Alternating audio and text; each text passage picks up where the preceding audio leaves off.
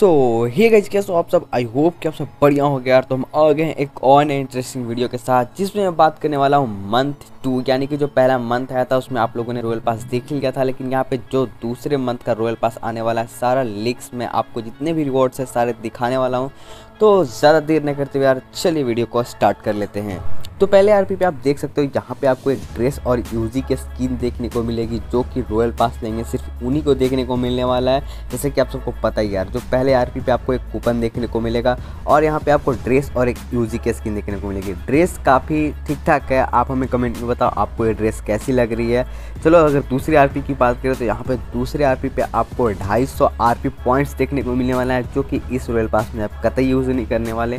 जो नया अगला रॉयल पास आएगा, आप उसमें यूज़ कर सकते हो और 250 पॉइंट्स लेके दो दो से ढाई आरपी आप बढ़ा सकते हो। तीसरे आरपी की बात करें तो यहाँ पे तीन आरपी करने पे आपको जो रॉयल पास लेंगे, उन्हें आपको पता ही है कि यूसी रिटर्न किया जाता है 380 यूसी तो आपको 380 यहाँ पे 80 यूसी आपको रिटर्न किए जाएँगे।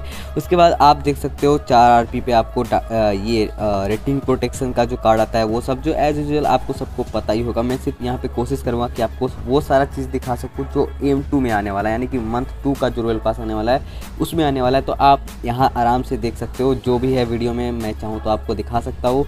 तो आप देख ही रहे हो यार, यहाँ पे बैक के स्किन्स गन के स्किन्स और ड्रेस की काफ़ी अच्छी स्किन्स आने वाली है। तो मैं शायद वॉइस ओवर ना कर पाऊँ, आप वीडियो देखो पूरा और आप देख लेना कि कौन कौन सी स्किन्स है जो आने वाली है।